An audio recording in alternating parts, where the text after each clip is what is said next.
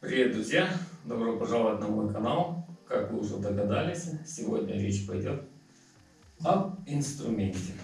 Сейчас я вам покажу, что у нас имеется, какой инструмент, и потом мы полностью об этом поговорим.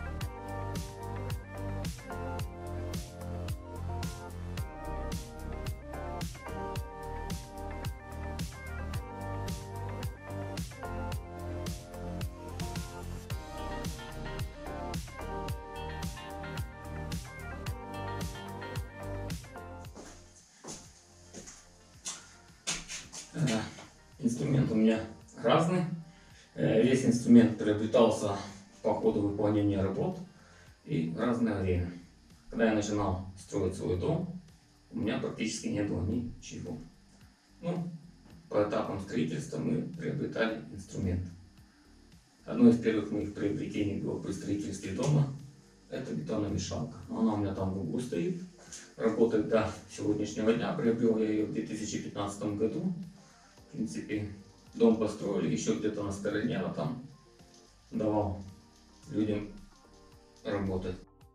Ну ладно, теперь пойдем дальше. Э, Ребята, когда я приобретал инструмент, было очень много выбора. Ну, ну, не сейчас, как бы есть на сегодняшний момент, но все зависело от ценовая политика инструмента. Я к этому вопросу подходил с такой точки зрения, э, как долго я буду его эксплуатировать. И, естественно, исходя из этого, я уже по этому принципу прицеливался. Э, Начну я, допустим, вот хотел бы обратить это ваше внимание на вот такую вот болгарочку, маленькая болгарочка под 115 диск. Ребята, это фирмы Hitachi. К сожалению, она вышла из строя у меня. Э, Не работает. Здесь сдать ее в ремонт не предоставляется возможности.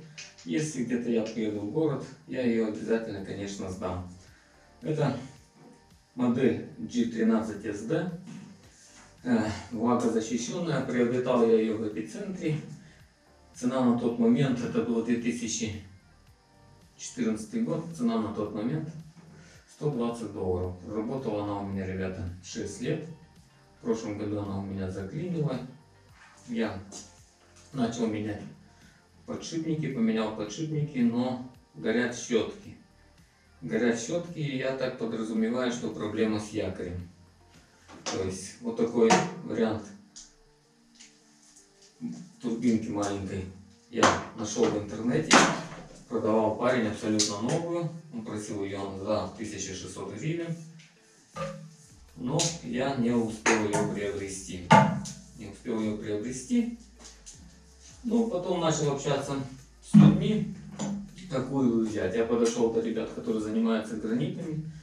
Гранитные памятники изготовляют. У них там идет более жесткая эксплуатация. Но они говорят, что на сегодняшний день самое популярное, то, что они пользуются, это метаба. Метаба немножко цена была другая, ну, следующим диапазоном, чуть-чуть дешевле, это была Макита.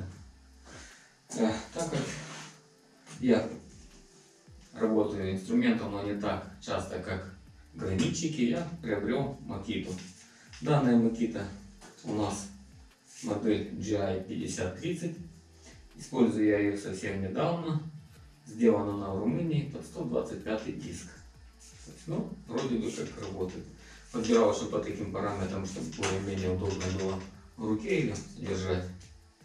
Ну, Год гарантия, по-моему, на нее. Вот так я пришел. Ну, естественно, что в процессе постройки дома я приобрел также еще большую себе углошлифовальную машинку по 230 диск. Тоже вариантов было много. Вот данную машинку углошлифовальную, это фирма DVT. Ребята, она очень мощная. Ее мощность составляет 2,5 киловатта под 230 диск. Обороты у нее получается, по-моему, 6000 у нее оборотов. Извините, ребята, вру, 2400, 24 киловатта. Вот данную турбинку, ребята, я нашел через Сванда. И нашел я ее э, в ломбарде. В ломбарде. Ломбард выставил ее на продажу. Ломбард находился в городе Николаеве. И купил я ее 1350 гривен. То есть она была абсолютно практически новая. Ну, это я ее приобрел в 2015 году. Вот до сегодняшнего дня я ей пользуюсь. То есть еще я ничего не делал, не менял ни щетки, ничего. Тут единственное, если кто-то знает, у меня есть такая фишка, зажимаете и можно повернуть ручку. Ну, я это никогда не занимался, делал. Она у меня также, я ее использовал, у меня была самодельная станок для турбинки. Я делал варил профильные трубы, если кому-то интересно, у меня есть на канале.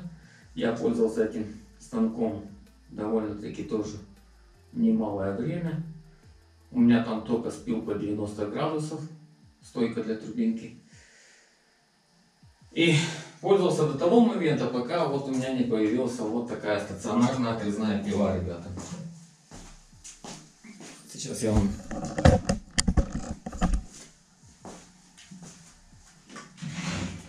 стационарная отрезная пила мне досталась подарил подписчик подписчику огромное спасибо. Он мне подарил только верхнюю часть и все остальное я уже дорабатывал. Основание фундаментную раму я делал а так в принципе все родное.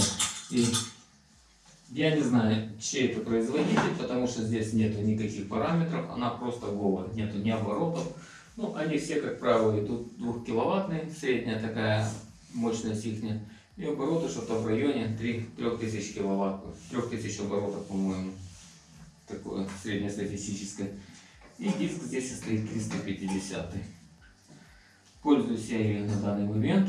Она очень удобная, кстати. Если у кого-то есть возможность такая, не лепите, не делайте эти стойки сразу приобретите. Но опять же, это все зависит от того, от того, как часто вы будете ею пользоваться. Если человек вышел себе на задний двор, у него лежит куча металлолома, он посмотрел себе в интернете самую простую стойку для турбинки и сделал себе, потому что так, такой вот отрезной станок китайский будет стоить где-то в районе 100 долларов, он дешевле не будет стоить. А что-то получше, допустим, брать, даже тот же, уже даже тот же, не знаю, Макиту даже тоже брать отрезную стойку, либо там Деволт, ну это уже будет в порядке 6-7 тысяч гривен стоить примерно. Если человек не так часто использует, не пользуется, не так часто ему нужен этот спил по 90 градусов, то, конечно, нет смысла приобретать дорогой инструмент. Можно просто, в принципе, купить такую недорогую, дешевую. Это вот от подписчика досталось. Еще раз скажу ему огромное спасибо. Э, дальше по ходу выполнения наших строительных работ мы добрались до крыши. С крышей тоже такой вариант обстоял. У меня крыша с металлочерепицы. Ну, насколько, ребята, я, у меня на канале есть обзор, я уже как-то говорил о данных высечных ножницах и говорил о вреде реза, реза металлопрофиля, металла, не металлопрофиля, а металлочерепицы, профнастила, о, о вреде того, что его пилить турбинкой. Мне говорят, а что там тот срез, где ты спилишь, типа турбинкой, он ну, заржавеет, но он там под коньком, ничего страшного. Да суть не в том, что он поржавеет, просто искры, которые будут лететь от среза, они могут повредить лакокрасочное покрытие на самом кровельном материале. Вот это вот важно. Вот этот ножницы высечные, ребята, с ними тоже такая отдельная история была при покупке, потому что я очень много искал. Мне попадалось в основном два варианта вот таких высечных ножниц. Это фирма Hitachi и Makita. Ребят, ну, цена их не была на тот момент 350-400 долларов. Вот такие вот ножницы. Я нашел это, кстати, тоже купил на, сайт, на сайте, в интернете нашел. Парень их продавал практически, они в коробке были, все. Приобрел я эти ножницы за 1200 гривен. Я сделал крышу 200 квадратов. Ими полностью у меня крыша вальмовая, четырехскатная. Э, сделал также всю нижнюю часть подшивы. Забор делал, у меня забор где-то метров 40, наверное. Да, больше 40 метров забор тоже так все подпиливал, резал. Они все работают, к ним вопросов нет. Единственный момент, ребята, затупился полосон. Полосон затупился, сам этот нож. Я не знаю, что здесь за металл, с он сделан. Видать, какого-то твердого, потому что я пытался его наточить, но с обычными ножниками не получается этого сделать. Может где-то куда-то сзади есть алмазный диск, и алмазным диском могут его поправить. Но если не получится его поправить, он продается как ремкомплект, и можно его приобрести, там цена его 200 гривен. В интернете он есть. Такими же при изготовлении крыши нам понадобились вот такие вот ножницы и шуруповерт, ребят. Шуруповерт был приобретен вот такой фирмы ДВТ с двумя аккумуляторами. Думал, пока одним аккумулятором буду крутить, второй будет заряжаться. Это модель этого шуруповерта ABS 12 CLI. Ну, ребята, я скажу дело в том, что что-то серьезное с ним ну, не получится делать какую-то серьезную работу, потому что я устал от него постоянно. Его надолго не хватает крутить кровельные шурупы саморезы. Там плюс надо было сначала шурупы идут с буравчиком, надо сделать отверстие в кровельном покрытии, после всего еще надо закрутить этот кровельный саморез в доску либо в рейку. То есть надолго этого аккумулятора не хватало. И я пришел к тому выводу, что я пошел купил сетевой. Сетевой я купил не, недорогой, я купил дешевый сетевой шуруповерт. Он сейчас у отца, отец им как бы использует его и как дрель, и как шуруповерт. То есть как бы он у отца уже давно находится. Если для дома, допустим, цена этого шуруповерта, э, сейчас я вспомню, он идет в таком маленьком чемоданчике, у него в комплекте два аккумулятора, его цена 1800 гривен. Да, 1800 гривен. Это на 17 год. Я не помню какой курс, не скажу, какая цена в долларах бывает. Что-то серьезное с ним, конечно, вы делать не будете, ребята. Ну так, по хозяйству, в доме, в квартире его вполне достаточно, Сейчас, конечно, немножко уже другие появились модели разных шуруповертов и по цене там как бы за 1800 гривен, наверное, будут на порядок даже выше. Модель можно будет лучше купить. Но то, что касается вот данного шуруповерта, вот такая вот тут история. Я кручу, конечно, уже, ну так, от случая к случаю. И раз мы уже пошли по этой фирме, давайте мы уже еще обратим внимание на фен. Фен у меня, кстати, тоже фирмы ДВТ. Я не знаю, что-то так, как-то она мне после 230 турбинки как-то она мне так по душе пошла. И, в принципе, я не могу ничего плохого сказать о ней. Это как бы не дешевый, ну, я бы не сказал, что это дешевый бренд, но он и не самый дорогой. Вот, данный фен я вообще приобрел за 550 гривен. То есть мощность этого фена, сейчас я вам, ребята, скажу. Здесь написано у нас 1600 ватт, температура 500 градусов. Этот фен, ребята, я покупал для чего? Для усадки термокендриков. То есть его задача основная была усадка термокемриков. И потом, когда у нас уже время дошло до отделочных работ, мы делали образцы и применяли его для подсушки образцов. Ну, так я его случай в случае применяю, вы в каких-то условиях там где-то что-то нагреть. Ну, а так основная задача. В принципе, он все работает, как бы. Вопросов к нему тоже у меня никогда не возникало. Единственное, что я расстроился, ну, как бы не расстроился в самой фирме ДВТ, а расстроился в самой вот, вот, вот этой вот вибрационной шлифовальной машинке. Она тоже, ну, в принципе, это не те деньги, чтобы за нее расстраиваться, как бы. Стоимость этой вибрационной шлифовальной машинки 700 гривен. У нее гарантия, она идет в коробочке, я как-то делал, у меня на канале есть обзор. Конечно, ребята, более функционально и более, наверное, будет производительность, что ли, лучше сказать. Так, это, наверное, скорее всего, будет у орбитальных шлифовальных машин. У меня пока особо таких особенных задач глобальных, чтобы использовать ее, не было пока. Ну, а такие, конечно, мелкие работы я и выполнял. Ну, конечно, но не тот, ребята. Не, не фонтан. Не фонтан, но брызги есть. Я не знаю. Если есть, конечно, возможности и пожелания, конечно, ребята, приобретайте орбитальную. Я думаю, что от нее будет больше пользы и вы получите удовольствие от ее эксплуатации.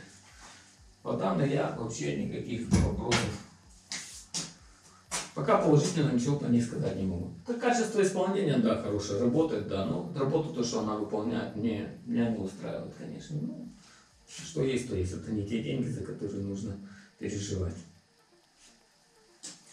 Что касается еще нашего инструмента. У нас есть вот такая вот дрель. Это дрель, ребята, фирмы Стая 220 вес 2 килограмма. Ребята, ну что я могу сказать? Ну, вообще никакая. Вообще вот никакая, ребята. Как и работает она как-то непонятно вообще. И тяжело, и патрон не зажимается, короче. Ну, не могу ничего хорошего о ней сказать. Ее цена невысокая, но, ребята, ну, не стоит, нет смысла ее покупать вообще. И вообще бы, допустим, к примеру, если люди, которые, допустим, к примеру, хотят для дома, чтобы в доме была какая-то дрель, я бы, конечно, если вам там нужно какие-то небольшие, для небольших задач, ребята, просто купите хороший шуруповерт с функцией сверления. То есть его будет, в принципе, вполне достаточно. Вы этим самым убьете двух зайцев и сможете их просверлить и закрутить шуруп.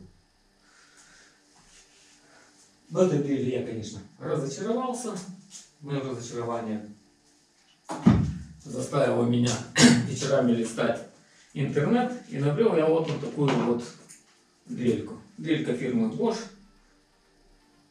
Купил я ее за 1000 гривен. На. Бэушная у меня была. Ну, она работает, да, она работает как бы. Работа, конечно, совсем другая по сравнению вот с этой. Это у меня такая, она как лежит, я только с нее пыль вытираю. А вот Bosch, конечно, немножко по-другому все, конечно. Но опять же, для более таких каких-то сильных работ у меня есть вот такой вот станок, ребята.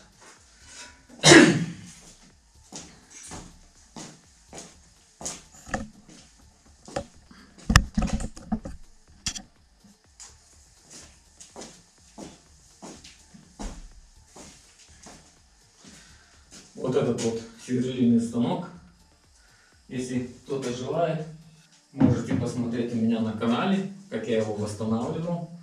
Я его приобрел на пункте приема металлома и купил его по цене металлома. Он был в таком немножко ужасном состоянии. Мы здесь произвели ему полностью почистили, удалили старое лакокрасочное покрытие, удалили ржавчину, все это самое. Загрунтовали. Не, вру, мы его сразу покрасили. Мы его покрасили, заменили все болты, заменили здесь подшипники, заменили патрон, заменили ремни, дополнительно оборудовали его. Сейчас я более детально вам покажу.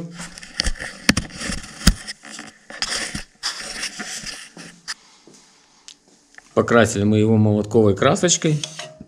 Вот эти болты мы все заменили, все смазали маслицом. Тут у нас вот так. Пиноль у нас ходит. На пиноле произвели замену всех подшипников. И дополнительно, ребята, я уже к нему сделал вот такое вот освещение. Вот такая вот у нас лампочка здесь стоит. И мы вот так им пользуемся. И родную кнопку я не нашел, которая была. Кстати, в интернете я искал, так я не понял, что это за модель этого сверлильного станка. Но он очень тяжелый. Этот вал полнотелый, он не пустотелый. И эта плита тоже, она там практически тоже, я бы сказал, что она полнотелая. Вот эта часть металла также полнотелая. Ну, я приобрел обычную кнопку, вот такую старт-стоп.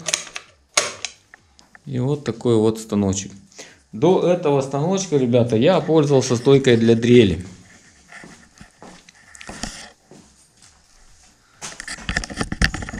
У меня на канале есть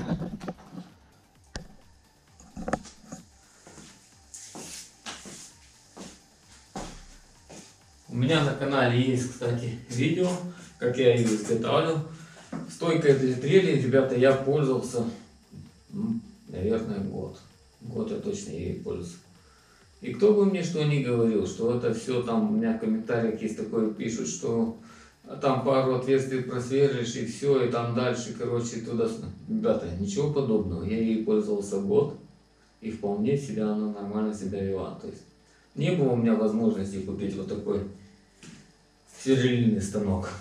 Но дело в том, что я еще скажу, что китайские сверлильные станки, они стоят недорого. Они там что-то в районе там 70-80 долларов.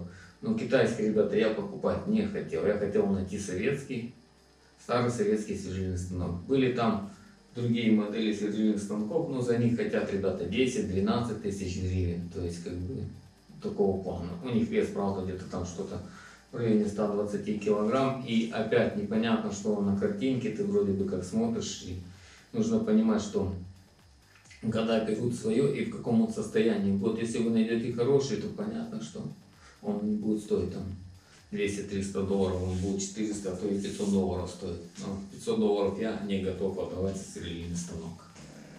А пользовался я до сверлильного станка, я использовал, конечно, стойку дрели. Кстати, сейчас я вам ее покажу.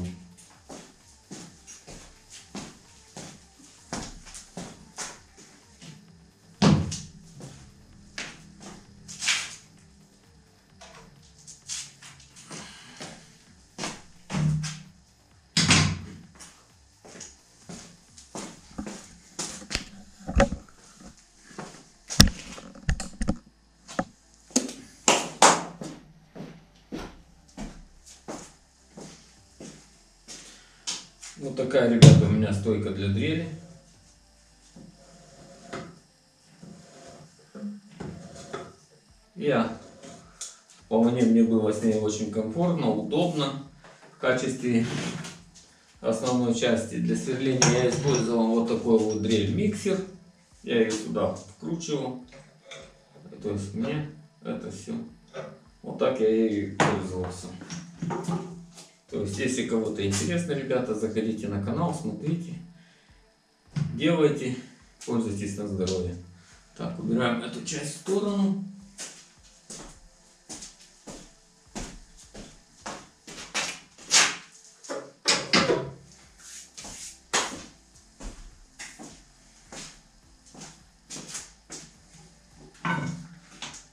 Вот таким, таким миксером я пользуюсь. Это мощная она, почти киловатт, по-моему, даже больше киловатта она имеет. Тысячу оборотов, сейчас я вам скажу более точно. 1,1 киловатт. Я миксер включаю себе, венчик сюда зажимаю. Ребята, милое дело себе, бук-бук-бук, ведро клея, ведро шпаклетки я себе замешал. То есть нет смысла брать более дешевую. Э, не то, что более дешевую, менее мощную дрель для того, чтобы мешать как бы какие-то приготавливать смеси для каких-то работ. Так что вот такие вот инструменты мы использовали. Ну теперь немножко я бы хотел поговорить о данном сварочном аппарате. Данный сварочный аппарат у нас фирмы Gerard. Приобрел я его в 2014 году у меня был такой разовый заказ. И, в принципе, за, с одного заказа он окупился сразу. Работает он до сегодняшнего дня. Все хорошо, как бы. Единственное, что появился какой-то свист. Вот когда я включаю, не, при, не в тот момент, когда я варю, а он просто бывает появляется, исчезает, появляется, исчезает. То есть я как-то его открыл, визуально посмотрел, визуально ничего не понял. Ну, я думаю, что где-то скорее всего, связано с электрической частью. Может, где-то какая-то плата, либо конденсатор какой-то. Так он у меня внутри полностью чистый. Не, нет в нем пыли. Но меня как-то спрашивали знакомые, что можешь посоветовать. Ну, ты пользуешься. Ну, ребята, я советовал этот Gerard MMA 200 Pro. Но дело в том, что ребята на сегодняшний день, как говорят, что вроде бы качество их не, уже не то, что раньше было. Ну, вообще-то я, допустим, если какой-нибудь даже инструмент, ребята, когда приобретаю какую-то там фирму, какую-то модель, если не сложно, просто я бы на вашем месте, ну, сходите в какую-то мастерскую, ну, посоветуйтесь там ремонтную мастерскую, где занимаются ремонтом инструмента. Вот какой инструмент меньше всего приносит, вот тот больше всего и работает. Вот этот сварочный аппарат, конечно, очень хорошо. Я доволен, конечно, им. Он у меня до сегодняшнего дня работает. Но я его уже на сегодняшний день, ребята, практически им не пользуюсь. Я им пользуюсь только в тех случаях, если мне где-то надо далеко куда-то что-то пойти заварить. Если где-то по месту, ребята, у меня есть вот такой вот аппарат. Вот оно.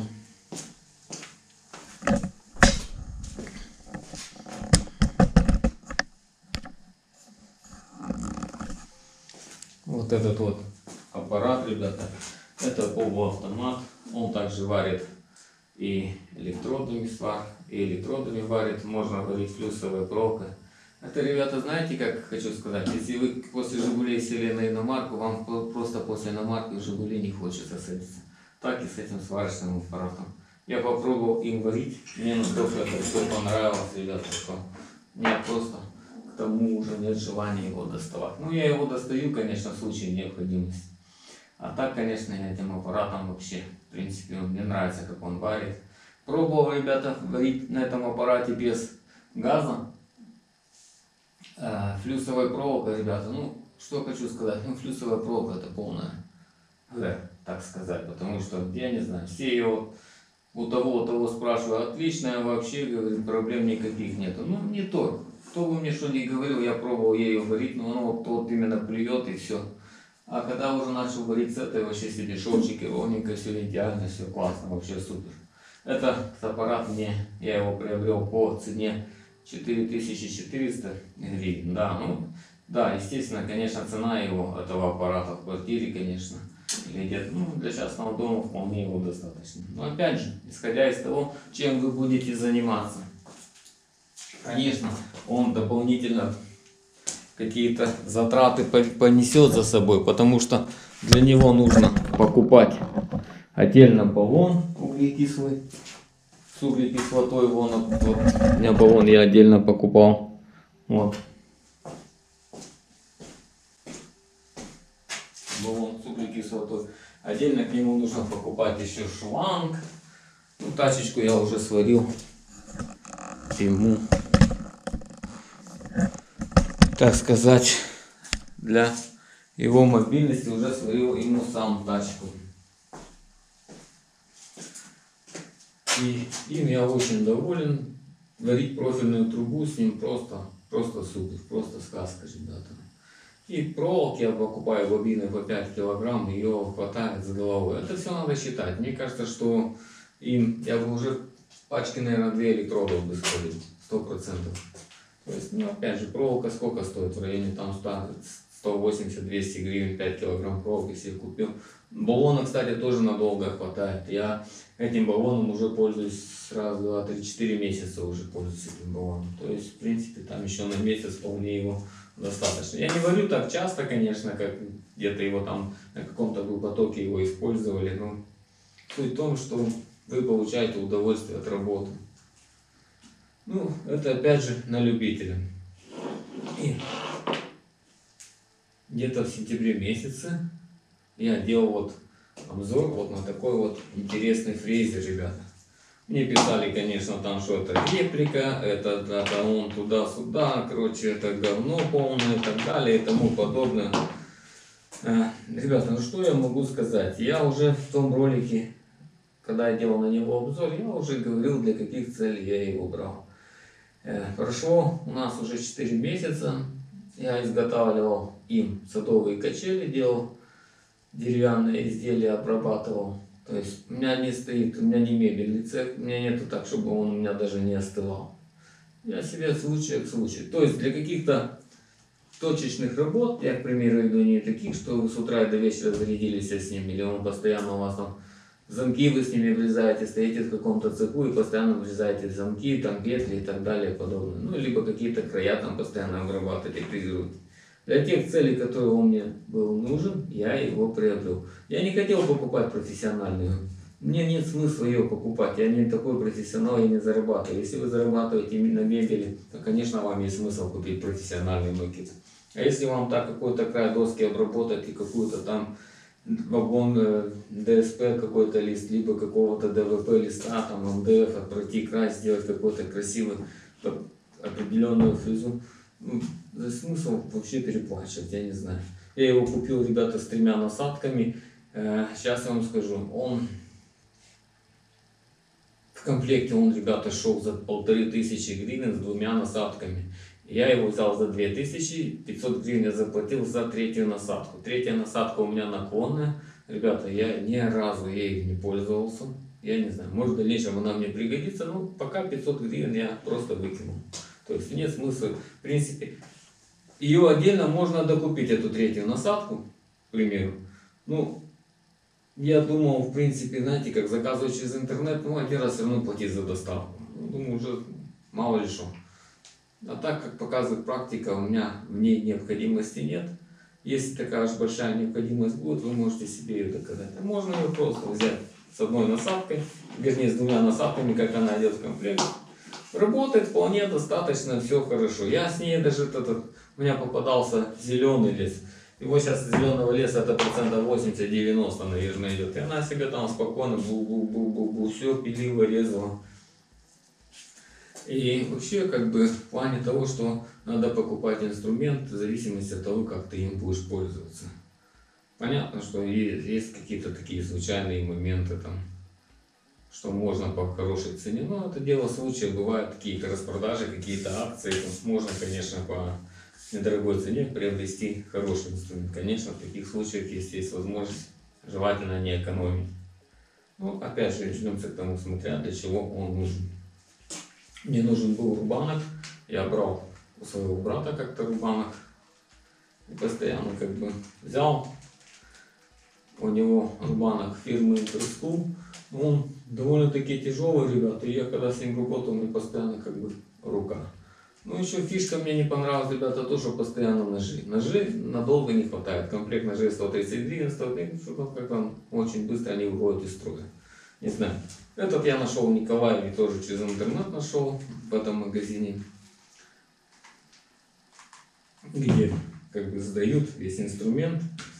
В ломбарде, кстати, они с ломбарда выставили его на продажу. Они по предоплате, я отправил предоплату 200 гривен. Купил я его за 800 гривен. Это фирмы Black Decker, 17 год он производства.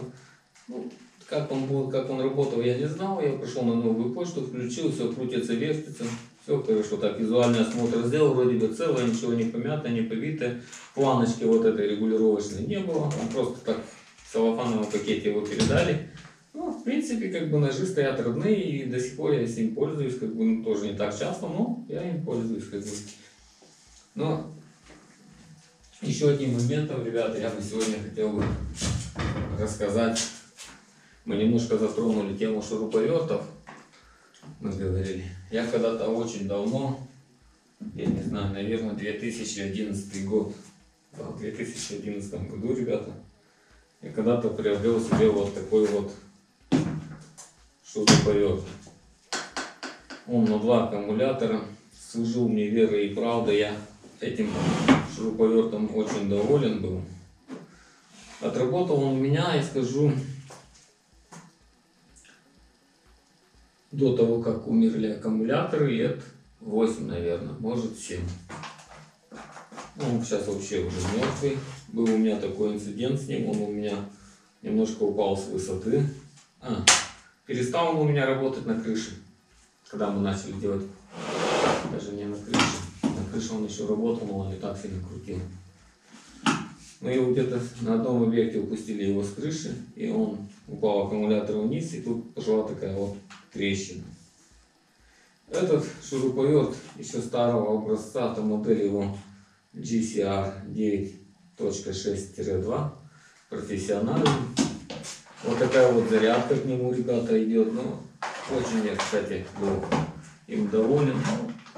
Стал вопрос, допустим, я хотел менять ему аккумуляторы. Ну, аккумуляторы стоят как новый шуруповерт. Ну, пока так лежит, дело случая. Может, когда-нибудь куплю вот эти сами элементы. И когда мне совсем скучно будет, постараюсь его вернуть к жизни. Вот такой вот шуруповерт у меня, кстати, был. есть, но не работает. И еще из старого, то, что у меня до, сегодня, до сегодняшнего дня работает из старого инструмента, это у меня вот такая вот макита, ребята. Это перфоратор. Модель этого перфоратора HR2470. Он у меня прошел несколько объектов. До сегодняшнего дня он у меня потрепанный вот такой вот. Резиновые проставки у меня здесь погрызанные уже как бы в этом плане. Но он до сегодняшнего дня у меня все работает вообще супер. Это резиновые проставки у него здесь порвались. Были такие места, куда его сильно запихивали. То есть ему именно такие щели запихивали, что... Кстати, я скажу, еще хочу ребята такое сказать, что я его ни разу еще не открывал. Это 2013 года модель. Купил я его вообще случайно. Я пошел, как бы это самое, работал в одном кооперативном поселке. Там недалеко от этого поселка был городок такой. Ну, как-то это было, по-моему, дело к выходным. Мы пошли просто прогуляться, я пошел постричься. Зашел в магазин, стоял в стороне. Ну, что-то мы как-то разговорились за этот препарат. Женщина говорит, я их взял, у меня они 5 штук было, и 4 забрали, а вот этот вот последний остался. И вот если вы его заберете, я вам его отдам по закупочной цене. Ну, закупочная цена составила на тот момент 90 долларов. Я там так еще сидел, думал, брать, не брать, брать, не брать. И, короче, забрал его за 90 долларов. Я не жалею ни грамма. То есть, как бы он все работает. Ну, опять же, дело в смысле. Был у меня как-то, я покупал китайский перфоратор фирмы Forte. Он у меня просто отбился на одном объекте. Я купил перфоратор. Сейчас вам скажу, я его купил за 36 долларов. Цена перфоратора 36 долларов. Мы устанавливали, монтировали плинтус. Нам нужен дрель дом монолитный, дрель мы не, не ударная дрель нам не помогла. Было принято решение купить перфоратор. Ну, хороший покупать не хотелось, потому что ну, не знали, где будем применять его. Ну, плинтуса там, хозяин говорит, установите плинтуса. Ну, вроде бы ничего сложного нет, но надо сверлить бетон. Купили за 36 долларов перфоратор фирмы Forte. Он, ребята, отработал у нас, он первый же, на первом же объекте мы на нем вернули все свои деньги, были еще какие-то мелочные работы мы по нему сделали, мы заработали там еще. И самое интересное, что я его дал человеку, там человек еще говорит, дай мне там где-то что-то по мелочам надо сделать, короче, я это дал этому человеку, знакомому, знакомый дал какому-то своему знакомому, и, короче, этот перфоратор уехал в страну потерянных вещей. Вот такая вот история у того перфоратора. Ну, год прошел, год он отработал. То есть, в принципе, может, есть смысл брать недорогой китайский перфоратор, которого гарантия на год, и за пару объектов он себя отобьет. И... Просто если на это менять якорь, он будет нормально денег стоить. Я не знаю, сколько, но нормально денег будет стоить. Ну, а так, коротко сегодня я вам, ребята, рассказал о том инструменте, которым я пользуюсь. И это мой личный опыт, это мои выводы, как бы понятно, что есть, конечно, ну, на эту тему можно говорить много, потому что есть любители, которые покупают себе дорогой инструмент, а они им практически даже не пользуются. Ну, опять же, это дело каждого. Некоторые переплачивают за бренд, некоторые просто, чтобы было. Некоторые покупают, приезжают на объект, у них дорогой инструмент, а уровень их работы вообще. Сейчас я смотрю на последний, на, на сегодняшний момент очень популярно становится электроинструмент, который, ну, кордлесс идут. Кордлесс это типа беспроводной, я имею в виду, что на аккумуляторах. Уже начали даже те же дисковые пилы на аккумуляторах идут, уже шуруповерты, там дрели идут, все уже как бы вот такого плана идет уже на турбинки уже идут на аккумуляторах. Ну, опять же, аккумулятор, он выйдет из строя, а произвести замену его, мне кажется, что будет по цене нового, по цене приобретения нового инструмента. Вот такой краткий у нас сегодня получился видеоролик по инструменту. Я поделился своим личным опытом. Вы можете написать в комментариях какие-то свои, может у вас какой-то свой инструмент. В этом ролике я не рекламирую какой-то определенный инструмент, потому что каждый свой инструмент предназначен для своих целей.